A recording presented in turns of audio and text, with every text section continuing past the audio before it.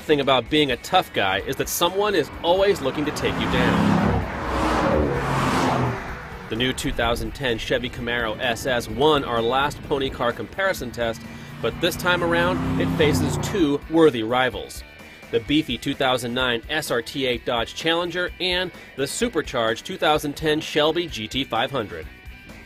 With a 426 horsepower 6.2 liter V8, the Chevy is not one to run from a fight, so it's anyone's guess which car will be left standing when the tire smoke clears.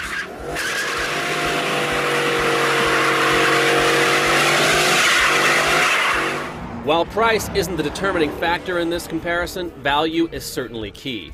The Camaro is the least expensive car here, and even with options like a sunroof and the RS package, it still comes in at around $36,000.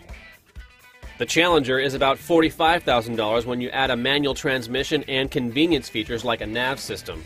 The Shelby with HIDs and the electronic package is more than $50,000. Limit the contest to weaving through cones, and it's the Challenger SRT8 that dominates. Its 67.6 mile per hour run is the best in this test. On the other hand, the Camaro doesn't seem to like quick transitions. It's slow to react to steering inputs, which partially explains why it's the slowest of the group in the slalom. The GT500 is right in the middle at 66.6 miles per hour. Thundering down a drag strip, the supercharged 540 horsepower Shelby proves its worth by turning in an astonishing 4.6 second run to 60 and covering the quarter mile in 12.6 seconds at 113.5 miles per hour, the quickest of the bunch. The Camaro is next quickest with a 5 second sprint to 60. In the quarter mile, the Chevy is about a half second quicker than the pricier Dodge that means the Challenger SRT8 is the slowest of the three when it comes to straight line performance. Although the Dodge packs 425 horses under the hood, it's really best at stirring up fond memories. The Challenger slots in at third place largely because its result between the cones doesn't translate to real world roads.